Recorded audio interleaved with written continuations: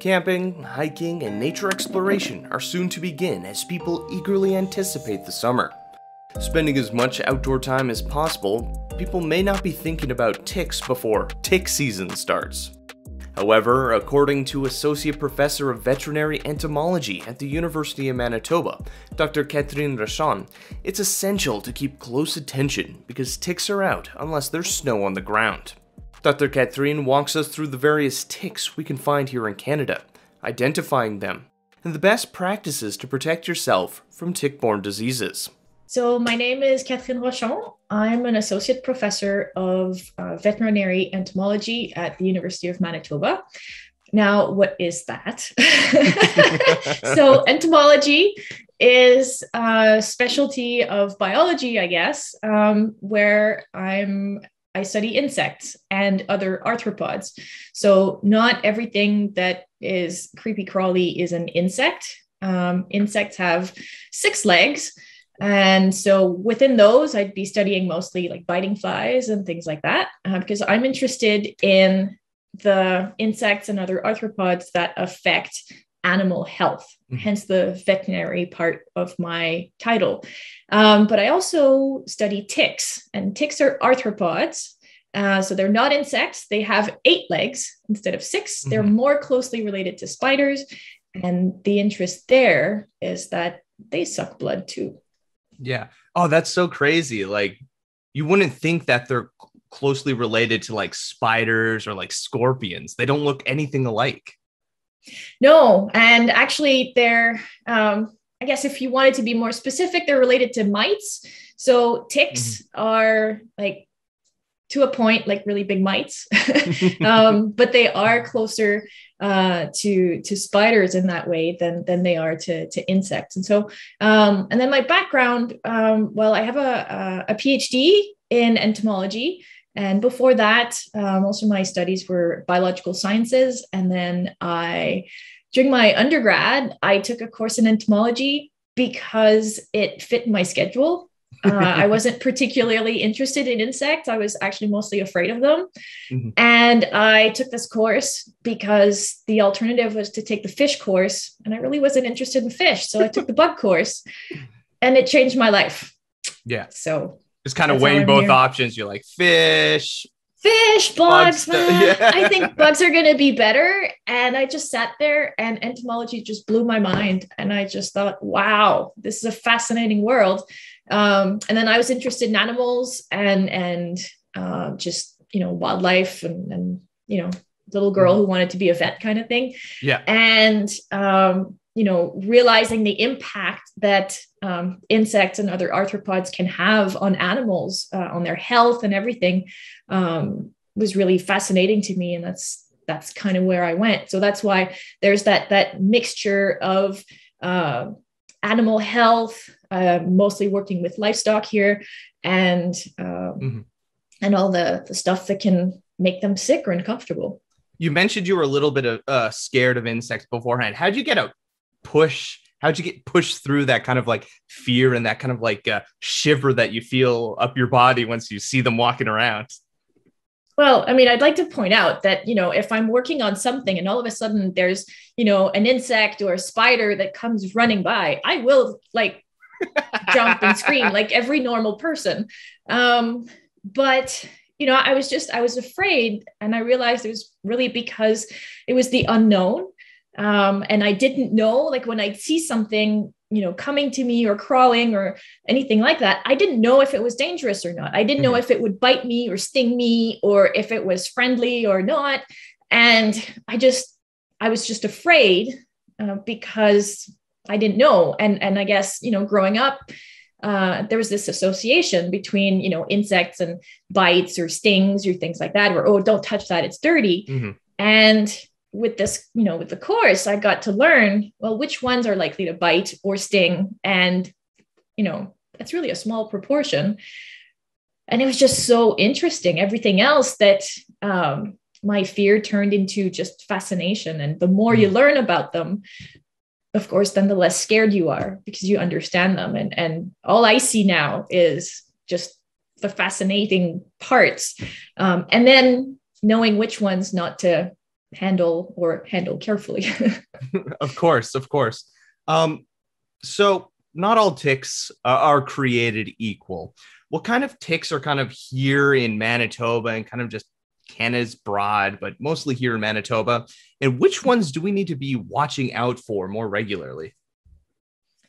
Yeah, so ticks are um, little small eight-legged critters, um, and we can find them uh, some uh, species relatively easily in Manitoba. So there are lots of, of tick species uh, in Canada and in Manitoba in particular, mm-hmm. but many of those ticks are very host specific. So you're not, you know, there's a grouse tick, but you're very you're not likely to encounter that tick unless you find a grouse.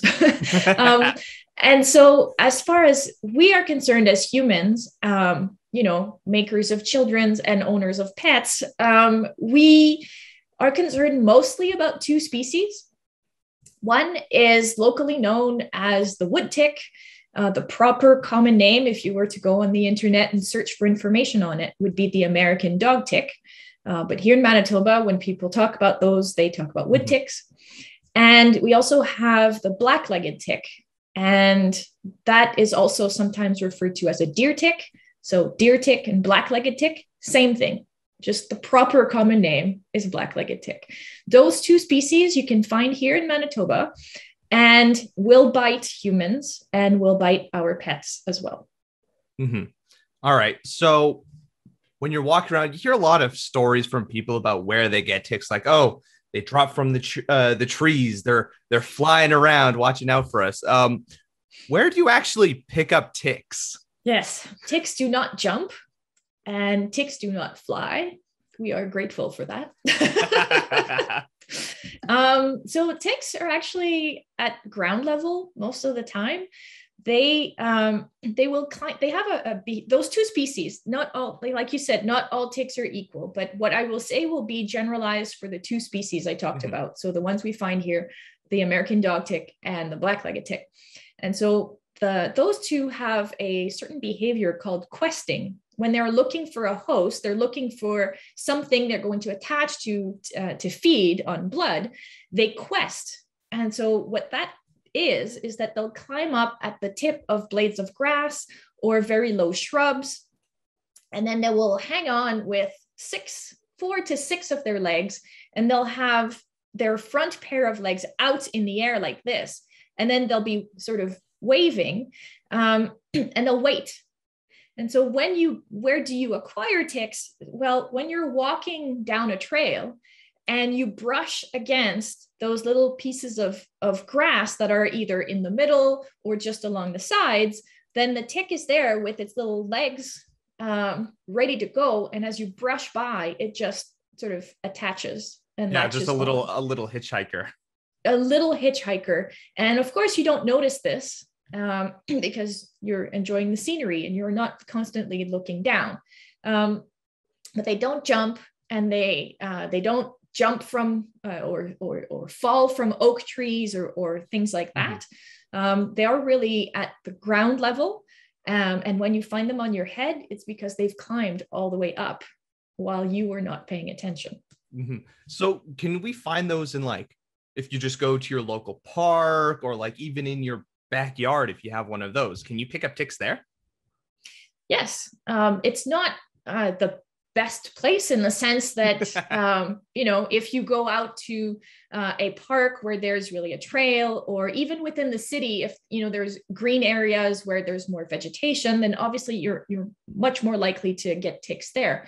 But if you have a nice backyard um, that has some grass and uh, some vegetation uh, maybe some trees that will uh, uh, provide a little bit of shade uh, you can definitely find ticks uh, in the city, uh, in your backyard in Winnipeg. Uh, some years ago, I was renting a, a house in um, in Norwood Flats, and I came back from work. Um, I was actually spending most of my day that day looking for ticks elsewhere. So, um, I mean, my you know my field gear, and I we didn't find any ticks that day. And I get home and I put my my hand to go to get my door get the doorknob to my back yeah. door and there was a tick right there uh, of course it just shows up right at the last minute yeah, so you can definitely find them uh, in parks. Uh, so you know, I know we'll probably talk about uh, safety and protection uh, a bit mm-hmm. later on, but I would say, you know, if you go outside um, anywhere where there's a little bit of vegetation, uh, you need to you need to check yourself. You can't expect ticks to only be in wild places. Yeah, that's kind of the thing when it comes to wildlife. It never never just stays uh, where we we think they're going to be. That's right. Perfect. So ticks can show up basically anywhere out uh, in your yards where there's vegetation close to the grounds. They climb on you, they bite you looking for food.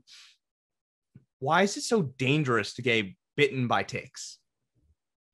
Well, getting a tick bite in itself, um, if it's just a tick biting you, isn't very dangerous in the same sense that getting a mosquito bite from just a mosquito bite by mm-hmm. itself is not that dangerous. However, if that tick is carrying a certain pathogen, so bacteria or virus, then while it feeds, it can transfer it and then mm-hmm. transmit it to you, and then you become sick. So, in the same way that the mosquito by itself is not dangerous unless the mosquito is a carrier for malaria, for example, and then transmits malaria to you from the bite, then that's why a mosquito okay. is considered you know the most dangerous animal on earth because through their transmission ability they kill a lot of people and so ticks are the same way um, they are well known for carrying uh, pathogens so usually bacteria or viruses um, and then mm-hmm. they can transmit them to you so here in manitoba we have uh, as far as tick-borne diseases so all those uh, diseases that you can get from the pathogen transmitted by a tick. Um, the ones in Manitoba would be Lyme disease, mm-hmm. um, anaplasmosis, babesiosis, and Powassan fever virus. Those okay. four can be transmitted by black legged ticks, uh, not by American dog ticks. And so, um, so that's why everybody's very concerned about ticks because mm-hmm. the tick itself is just really annoying. It's yeah. taking your blood and you don't want that. Um, nobody wants parasites, right? Um, but there's the added level of concern because of the pathogens they can transmit. Mm-hmm. Why is it that black legged ticks carry these much more dangerous diseases? Is it because of the things that they're eating before they get to us? Um, well, there's two levels there. Um, technically, your American dog tick can have all those pathogens I talked about. Okay. However, they are unable to transmit them. And so hmm. that makes them a lot less dangerous. So if I was to just take a, a, an American dog tick and crush it and test it for pathogens, they might be positive. Okay. But while feeding, that tick can't transmit it to you. It just it keeps it to him to itself. Oh, very interesting. Black-legged ticks well, yeah, it, it is. It, it, it really makes a difference, you know, which tick has what. Um, and it, but it's the same thing for other um, for other vectors. Same thing for malaria. Some mosquitoes mm-hmm. can transmit malaria, and some mosquitoes can't. Like they could have the pathogen in their in their gut, and it and and then it transfers to their body and it goes to their salivary glands. It just can't come out, or it can't multiply inside the mosquito. Uh, and so, in some cases, for ticks, it'll be, you know, they acquire the same bacteria, they feed on the same little mouse, and they mm-hmm. get Lyme disease from that same mouse, but one can transmit it and the other can't. So that's, that's so why black legged ticks are a little bit more, you know, concerning. It is. That's, it's fascinating. Mind blown right there. Um, so yeah, these black-legged ticks, they can transfer these path pathogens to us. So, what time of the year should we be watching out for the just ticks in general? I know a lot of people talk about tick season, um, and they usually mention like during summer, like uh, July, August, like, oh, I got ticks everywhere. Counted like 12 of them. Everyone's like comparing the number of ticks they found. Is there such thing as a tick season? Um, there is. And I guess I would maybe define that as uh, times of the year where ticks are more active. And so you are more likely to encounter them. So in Manitoba, to simplify things, I mm-hmm. usually say if there's no snow on the ground, it's tick season because ticks will come out in the spring um, as soon as the snow melts and you get some warmer, sunny days. But by warmer, mm-hmm. I mean it could be 10 degrees. If it's nice and sunny, um, ticks will start to come out. Uh, they they don't die over winter. They they spend the winter well hidden, and as soon as winter's over, they'll come out and they'll be looking for a host. So um, in the spring, they'll come out. Usually, black-legged ticks will come out. Uh, the ones that will the adults that will overwinter will come out uh, fairly mm-hmm. early on uh, in April if there's no snow. And then a little bit later, uh, May and in June, you'll get your adult American dog ticks that will uh, come out. Um, and those will last until uh, into July. You can still find um, find quite a few. Now, June in particular, and a little bit of July, but June in particular is tricky because you will then get the nymphs of the black-legged ticks. Now, the we didn't go over the life cycle of a tick, but let's just say I'll try to make it short. Out of a tick egg, tiny little wee tick egg, will come out a larva. And that larva will find something to feed on, um, something small like a mouse, will engorge, fall to the ground, molt into a nymph. Mm-hmm. That nymph will look for a host, attach, feed on blood, engorge, fall to the ground, and then molt into an adult. So there's mm-hmm. three life stages. They all feed only on blood. The nymphs of the black-legged ticks can transmit all those pathogens I talked about, um, but they are very, very small. They're about the size of a poppy seed. Mm. Um, in fact, the CDC had a tweet some years ago that grossed out many people, but they took they took black-legged tick nymphs and they put them on top of a of a poppy seed uh. muffin.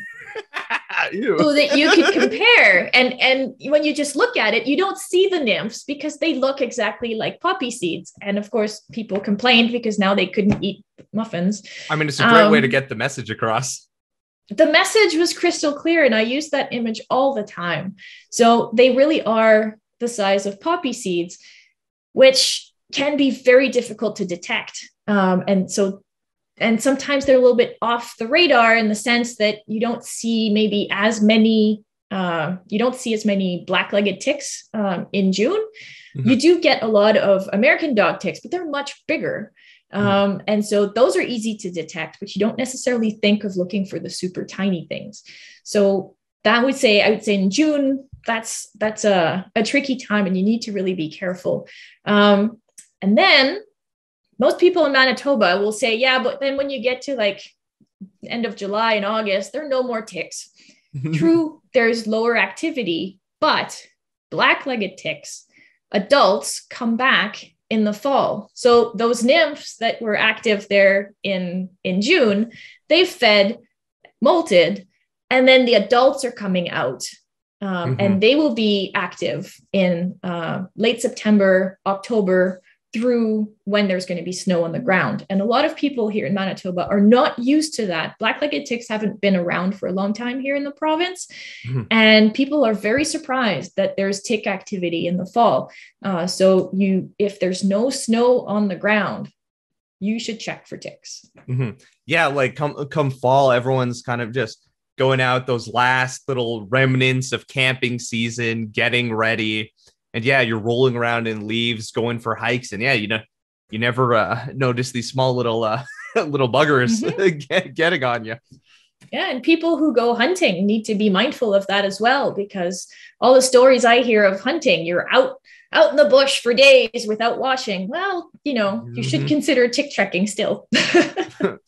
so, I yeah, talking about checking for ticks. Um, you know how can we find ticks you know how can i find them on myself a family member or specifically a, a pet? You're talking about these these tiny tiny nymphs. If you've got like uh, a husky or some other um, uh, you know two coated dog with just a lot of fur there uh, how are you supposed to find them? And how, how do you go about removing him? Because you know i hear stories all the time like oh yeah you just put some Vaseline or some more extreme things are like ah, gasoline, you just burn it off. How are you supposed to get them uh, off? Yeah. Okay. So um, we'll start. We'll start at the beginning of your question. So first of all, on us, right? So mm-hmm. um, you're going outside, and this applies, of course, for your for you know children as well. Children don't tend to notice when things are feeding on them or attached. You know when they gather friends. So you have to um, when you're coming back from your hike or from going to the park or something like that. Um, take your clothes off. Get naked and check yourself um, and check um, check your children. That could also be at the end of the day but personally i would say as soon as you get home if you know you've been in an area where there might be ticks just check uh, check yourself. Ideally you would also uh, have a quick shower because uh, especially when it's nymph time uh, you uh, it's well demonstrated that just you know a shower with regular scrubbing you don't have to you know scratch the outer layer of your skin there you can mm-hmm. just regular with regular washing um, that's enough to remove uh, some nymphs that you may have uh, missed but just you get naked um, there are certain areas where you're more likely to find ticks on your body, um, and I often describe that a little bit like a like an old time uh, wrestler outfit, you know, sort yeah. of a leotard type thing. And so you'll have around your scalp um, and the back of your neck. And then you'll have the armpits, the sides yeah. of the body, and then the groin area. Um, you have to consider that ticks like where there's going to be a little bit of pressure um, and so uh, around your waist, where you would have uh, your pants with maybe a belt or even just mm-hmm. the elastic from underwear, those are all places where they they would like to be. Also areas that are a bit warmer. So that's why you have your the armpit and then the groin area. There's a lot of activity. If you're walking, things heat mm-hmm. up. Uh, then behind your knees as well is another uh, preferred area. But you have to just look. You look all over. Um, I'm going to go right away to how to remove the tick, and then I'll come back to pets. Okay. You want to remove it as um, as quickly as possible. The best way would be if you have uh, fine nose uh, or fine tip tweezers, and you would go and you go as close to your skin as possible, and you would um, then use the tweezers to pull the tick uh, straight up. So you don't want to twist it. You don't want to jerk it really quickly. Mm-hmm. Um, you just want to grab it as close to the skin as possible and then slowly pull up. The reason for this is that you want the reason you go as close to the skin as possible is that you don't want to push on the body. If the tick has been feeding for a little bit of time, mm-hmm. the body will be engorged, and that's like a balloon. And if you push on the balloon, you're going to be squeezing a lot of juice into yourself. Everything right back in. Yeah. Everything right back in. And if the tick is infected with something, that something will be in its saliva. And so by squeezing the body, um, you know, there's a, a, greater risk of, of more pathogens going into you. So you don't want to squeeze the tick. You, so you go as close to the skin as possible, and then you pull up. When you have um, you know grandma's tricks like using a match or using vaseline or you know kerosene or heaven forbid both of those together. Um, those are not good for a variety of reasons. Vaseline uh, if the idea is to um, you know keep the the tick from breathing well sure at some point the tick won't like being coated in vaseline but all this time it's still feeding. Yeah. so that's what you want to cut is the feeding because that's where the pathogens are transmission. And then if you've coated your tick in Vaseline, it gets really slippery and more difficult even, to remove. It's going to be more. It's going to way more difficult. Yeah, you're right. So don't do that.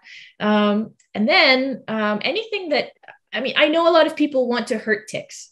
That's that's fine, but you can do that after it's off your body. So you know, if you burn it or if you poke it with a needle or things like that, you're gonna create pain, they do feel, you know, they, they don't, it's uncomfortable.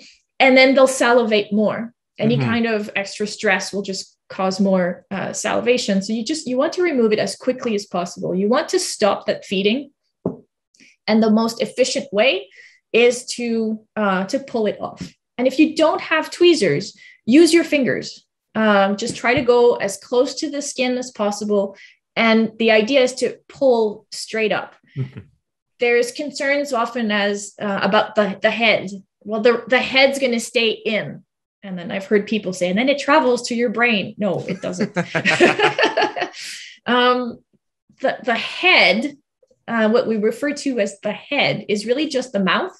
It's just the mouth parts. Mm-hmm. Um, and in black-legged ticks, the, the mouth parts are very thin um, and fairly long. And if they do break when you pull on the tick, um, then you, it's it's really would be just like a sliver, and so you would just remove, you know, look for it and, and yeah, yeah, yeah. pull on it and remove. Um, but it's actually the mouth parts really are quite small, um, and they don't typically like they wouldn't stay embedded.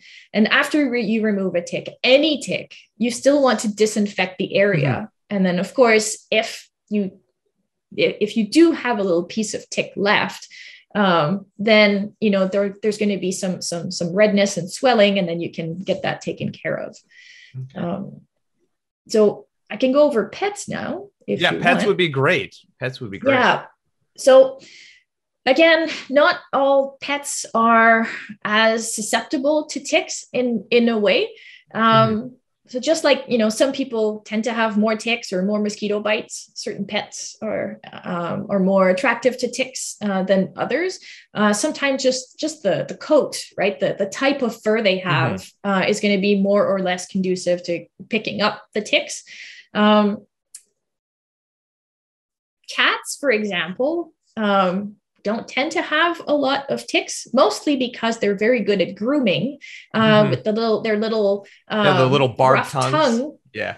Actually, is very good at, at removing ticks. And where you'll find ticks on a cat, very often it'll be nymphs, so the very small ones, um, on the face where they can't use their tongue very effectively. Yeah. Um, for dogs, uh, again, if they have double coats, uh, sometimes it's difficult for ticks to get through to the oh, skin. So, so that can help. That can help. That that that can help.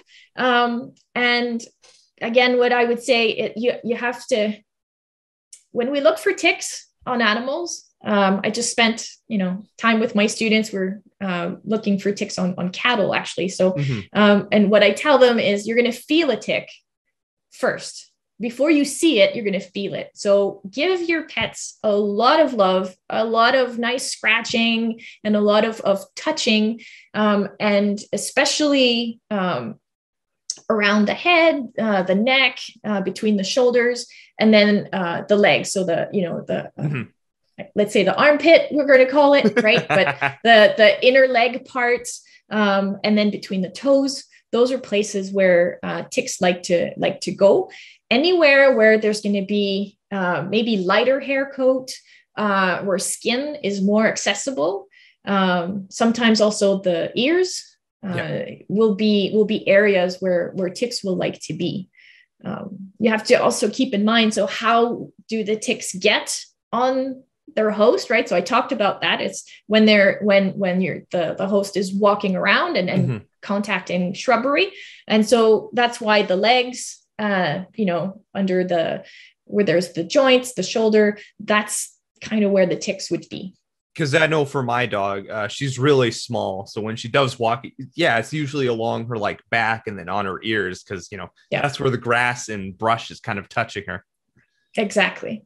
Perfect. Um, yeah, we've gone over you know how to you know remove a tick. How do we prevent ticks getting on us in the first place, or how do we reduce the the risk of getting them to bite? Well that's the key isn't it? It's like everything else prevention. Mm-hmm. so you want to reduce the chances that you'll have to pull that tick off of you. Um, and so there are quite a number of things actually we can do. And many for many many of them it's just the key is to get those things to become a habit in our lives mm-hmm. so when you're going out uh, you're going to going for a hike or just at the park to walk with the dog I know that when it's, you know, 38 degrees, if I tell you you need long pants and socks and closed shoes, you're going to look at me and say, Are you crazy, woman? but earlier in tick season, um, and in, we're going to call them normal years, hopefully the crazy weather doesn't mm-hmm. become normal. Um, you would want what you have to think the goal is to reduce the tick's access to skin. Mm-hmm. If it gets skin, it gets what it wants. So ticks are low to the ground. So if you have closed shoes or boots, then they don't get access through that. Then you have your long pants and you do the amazingly hot fashion trend of putting your pants into your socks. Mm-hmm. And that way, the tick that gets on your shoe uh, will climb up. Ticks will climb up no matter what. And so they'll go on your socks and then they'll go on top of your pants, not on your socks and under your pants where yeah. they get access to skin and you can't see them. So you tuck your pants into your socks. You tuck your shirt into your pants for the same reason so that when the tick gets to your to your waistband um, it goes on it stays on the surface of your clothes not under where there's skin yeah so it gives you right? that much more time to notice a tick or go from your your walk or hike get back home you you take it off you check you're like okay they were all over my clothes exactly throw them in the dryer You do. You do. You throw them in the dryer on hot, and that will kill uh, the ticks that you haven't seen.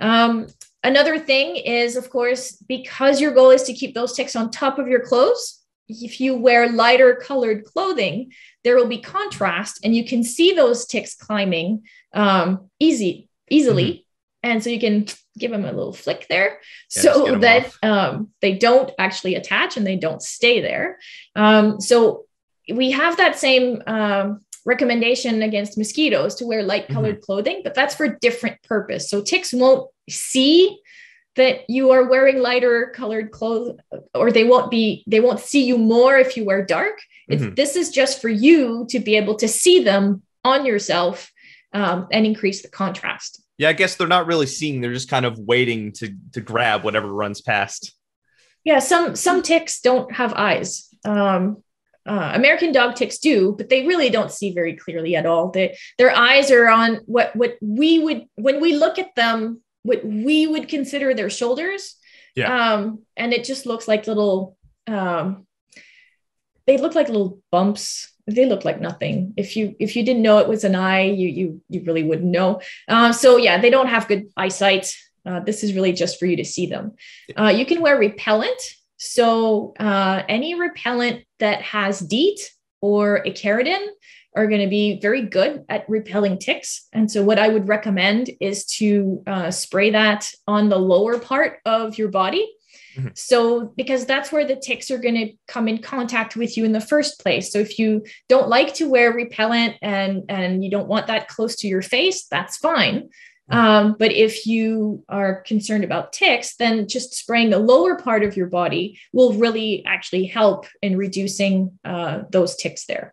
Um, and then, uh, like I said, when you once you get home, check yourself, check your children, check your pets, so that you don't bring ticks in that are not yet attached, but will attach to you uh, when you're not really concerned about ticks anymore because you're in your safe environment at home. Um, I've had that happen to me before where, um, you know, I come back from looking for ticks all day and I check and I check and I remove a whole bunch um, while I'm driving. Usually it's when you're when you're driving, they come out. I've had you know driving on the highway and I have a tick walking on the yeah. rim of my glasses. um, but I get home and I don't notice anything. I take my clothes off. That's what I do first thing when I get home, get naked, hit the shower. And then the next morning I wake up and I had a tick on my on my tummy. Um, yeah. so like, huh, where did you come from? You weren't there when I was showering, right? Yeah. But you know, I must have missed a tick that was um, on my clothes. And so you have to, you know, I did not do what I tell everybody to do, which is to stick your stuff in the dryer. Yeah. I didn't do that. Um, so you have to, you know, inspect everything so that you don't um, you don't bring them in. Mm-hmm. Uh, you mentioned, you know, you, you maybe you don't like throw your clothes in the laundry or the dryer right away. You just leave it on the floor. Is there any concern of kind of ticks infesting your home? Ah, that's an interesting question. Um, because for the two species I was talking about, mm-hmm. no, um, they don't they don't live indoors. Uh, first of all, our houses are much too dry anyway.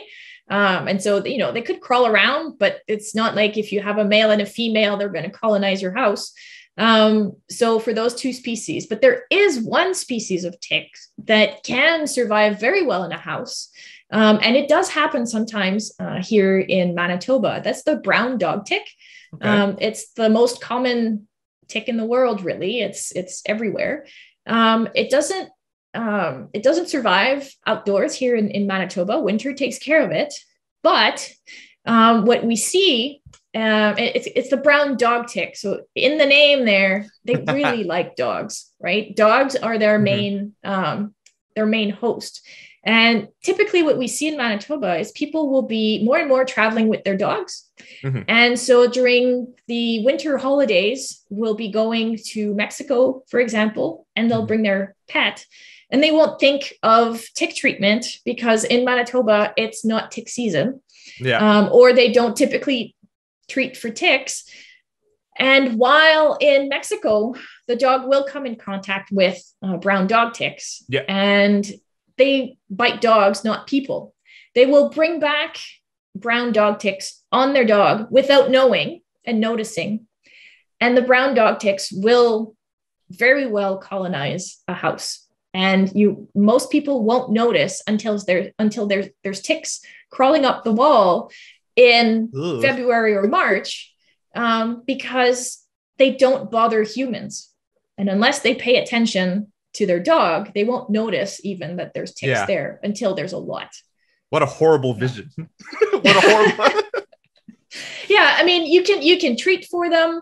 Um, and so i mean my first recommendation there would be obviously if you're traveling with your pet always make sure that they are protected against ticks. Uh, and while you're away, um, check for them, check for ticks all the time. You should check for parasites on your pets all the time anyway. Make sure they're mm-hmm. okay. Mm-hmm. They usually won't tell you they have a problem.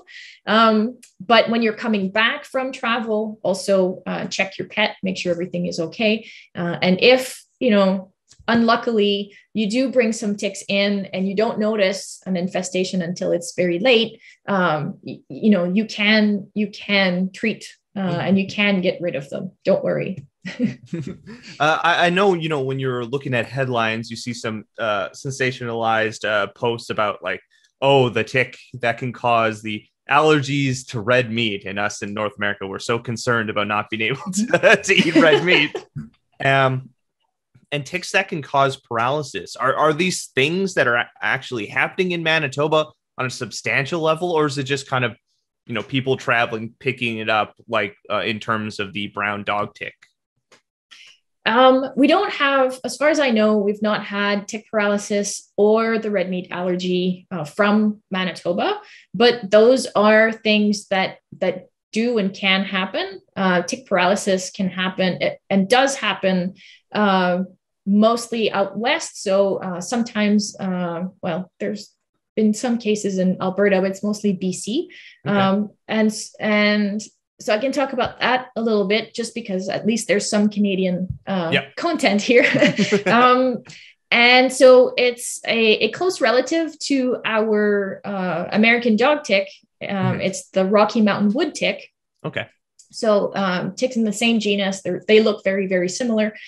And in certain areas of uh, inter- interior BC, um, some of those ticks um, have a protein in their saliva that will cause paralysis. So as they are feeding, they're injecting this toxin and that will eventually slowly accumulate in the body and cause paralysis.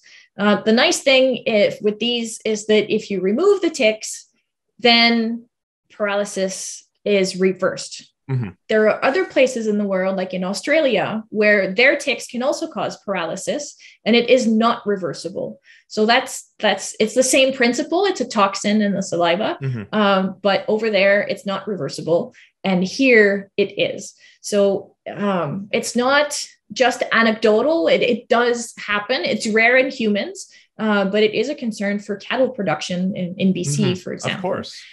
Um, red meat allergy. Now that's a really cool one. Um, it's it's a it's a, actually an immune reaction uh, so to um, to uh, um, sugar, and it's associated with uh, Lone Star ticks. Mm-hmm. So Lone Star ticks also are not established in Canada at the moment, but you can find them. Um, I always say if you're lucky, most people find that unlucky. I guess my my interest is a yeah, little different, bit different uh, showing here. Different perspective. Exactly. So um, I have a, uh, at the time student who uh, found some uh, here in, in, in Beaudry Provincial Park uh, some years ago, uh, just as we were doing surveillance and looking for other ticks. So it's possible uh, a couple years ago, there's quite a few that were found around the Brandon area. So you can find them, but they're not established that, that we know of that, that we can that we can find yeah. and prove. Um, and so, yeah, in certain areas, usually in the southern US, um, there's an association with getting a bite from those ticks and developing a red meat allergy. Um, I know three people who have developed that allergy. Um, okay. One person just quit eating red meat. Uh, actually, he quit eating meat at all. He just said, That's it. I'm done. I'm vegetarian. um, and the other two um, desensitized themselves to it and are now able to eat normally. Um, and so they both have a, a, science background. And so they said, well, I'm going to do just like when you go to the allergist and they, they give you micro doses of what yeah. you're allergic to to desensitize you. So they sort of micro dose themselves with red meat uh, over a period of about two years. And then now they're fine. Yeah. I mean, in terms of tick borne diseases, uh, developing an allergy to red meat seems relatively tame. I mean, people would disagree wholeheartedly. yes. What, I can't eat a burger anymore? It's like, yeah, well, Lyme disease is pretty uh, yeah. intense. So I guess coming back to that, you know, we talk a little bit about the ticks, how to get them, some of these more niche ticks that we can find uh, around the area, not necessarily here in Manitoba, but uh, you find a uh, black-legged dog tick or a deer tick on you and you don't know how long it's been there and it's relatively engorged. Um, is there a moment when should you be concerned? And you know you know when we're talking about lyme disease when should we be seeking medical attention for that? So um, i'll let's just answer this. I'll walk you through a scenario and okay. then sort of go through all right this is what you do. So you're out hiking and you come back and you're exhausted and you say i know this lady on the internet said that I needed to shower, but I'm exhausted. I'm just going to go to bed. I feel gross. I don't care. I fall asleep. You fall asleep. And the next morning, you wake up and you kind of, you know, scratch here and there. You have your breakfast. Um, all this to say that it takes, you know, maybe a day and a half, two days before you actually get naked and you know, look yeah. at yourself, and then you find a tick. And of course, this thing has been feeding for a little while. It's a little fat. So you're going to remove it um, as soon as you find it. Then mm-hmm. you need to identify it. You need to figure out what it is. Is it a black legged tick? If it's not a black legged tick, then you're not going to be concerned about Lyme disease. Um, you're still going to be checking that you don't have weird symptoms and that there's no local mm-hmm. infection but you're not going to be concerned about other pathogens. So your first step would be to seek a way to identify it. So there are different resources uh, here in Manitoba. Now we're part uh, the surveillance program that the province is using is eTick, so etick.ca. Okay. So you would then snap a picture, upload that, and they will identify the tick for you. If they tell you it's Ixodes scapularis, a black-legged tick, then you need to keep in mind that you may have been exposed to mm-hmm. a variety of pathogens. So after you've removed your tick, um, before you took the picture, you cleaned out the bite site and you're going to start monitoring for any kind of symptoms mm-hmm. that you're not used to. We say flu like symptoms. Um, that would be aches, fever, that kind of stuff um, for a period of 30 days. I always say when you remove a black legged tick from your body, um, write it on the calendar. because you won't remember like three weeks from now, you may not remember exactly what day you got I it. I can't remember So- what I I ate yesterday. Exactly. Right. so write it on the calendar. And then for a period of uh, 30 days, monitor yourself, you know, body awareness, kind of figure out is Yeah. this, am I feeling normal? Um, with Lyme disease, we often hear, and I this is for Lyme disease, but any tick borne illness, right? Mhm. But specifically for Lyme disease, there's a couple things to keep in mind. The tick needs um, at least, well, it's actually more like 36 hours okay. um, for the tick to be able to transmit the bacteria. So, for simplicity purposes, if the tick has been attached for less than 24 hours, the chances of getting Lyme is really, really small. Mhm. Um, like, I'm, I, I, I'm as a, as a scientist, I can't say impossible, um, but it's very really- unlikely. Very unlikely. very unlikely. Um, and if we have time, we can go into why.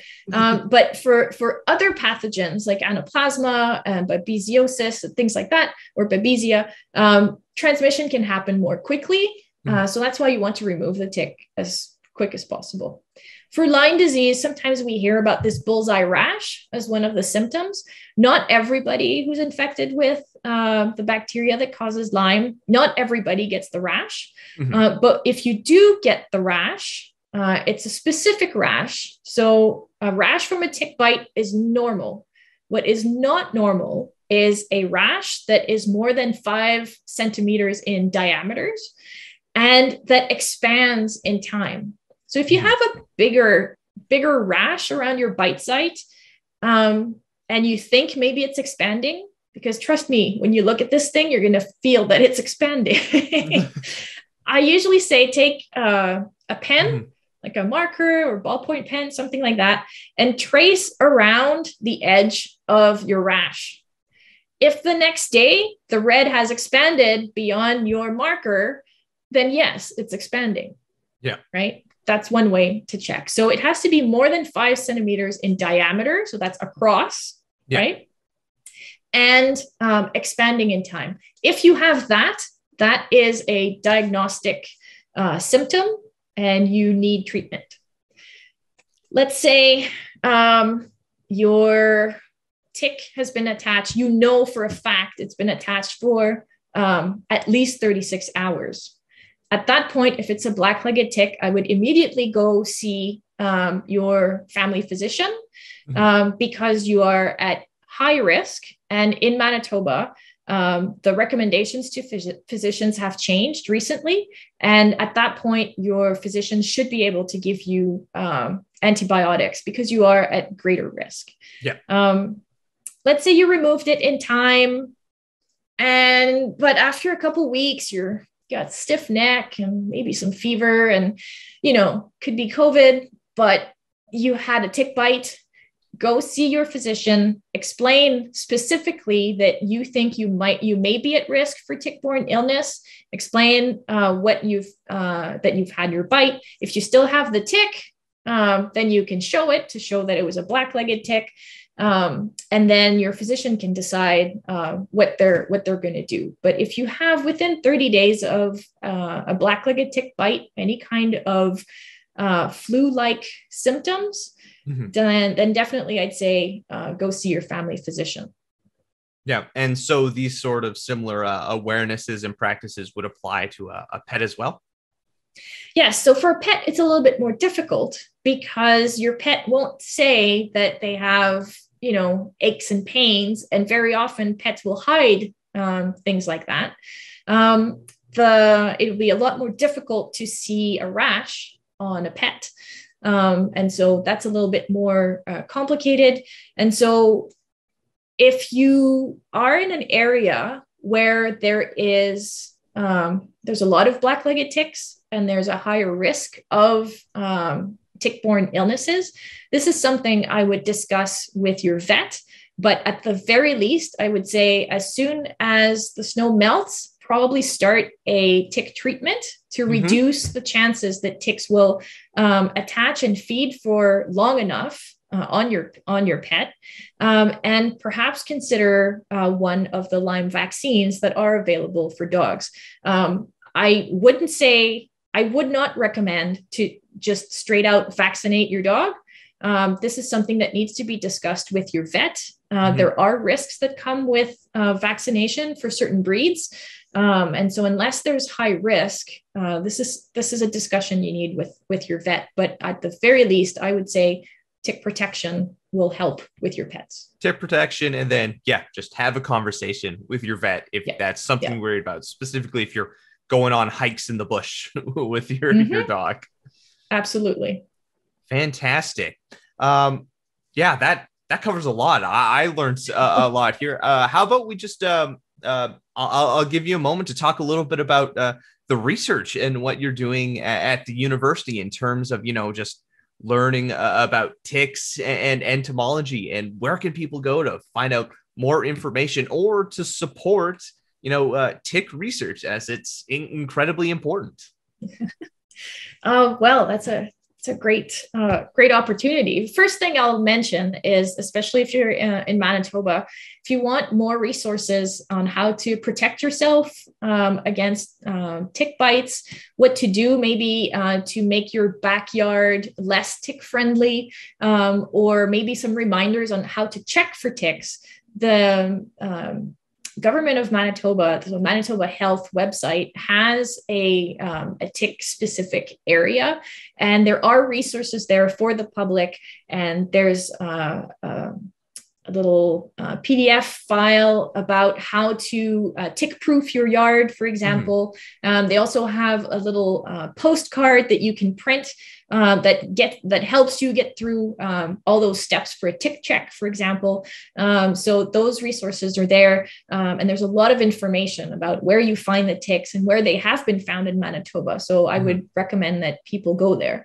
Um, as far as my research, uh, this year I've started a project. I work the, mostly work with uh, American dog ticks uh, mm-hmm. now, and I'm interested in their ability to transmit a certain bovine disease called uh, anaplasmosis as well, but it's bovine anaplasmosis, so not the same one that's transmitted by black-legged ticks. It's transmitted by um, American dog ticks to cattle, not to humans. Um, and so I've have uh, whole team this summer and we go out and we we scratch cattle for ticks. And so we have cattle that are uh, in in squeeze chutes and we go there and then we we actually massage them and remove ticks from them and then we get those tested. And so we're trying to figure out um, the risk um, for for um, you know within pastures and and all of that. Mm-hmm. and so it, that's that's that's one thing i do. And i'm also uh, part of the canadian lyme disease research network. And so i do the surveillance for the network uh, in the province of manitoba. So for that i'm looking for black-legged tick nymphs. So those mm-hmm. super mm-hmm. tiny the ones. super small poppy sized uh, ones. yeah. So that keeps us uh, busy in june. And um, yeah. So it's all right now it's all ticky goodness, but I've also worked with biting flies and I hope to get back there um, in the future. if people are interested in uh, learning more about entomology in general, if you're a university student, definitely check out uh, the Department of Entomology um, website and check out our courses. We have all kinds of entry level stuff. Um, and maybe you'll just be just like me and have your life completely changed by an entomology course. Enjoying the content from U Multicultural? Subscribe so you can stay up to date with everything that we're doing. I'm Ryan Funk. This was U Talk, and have yourself a good one.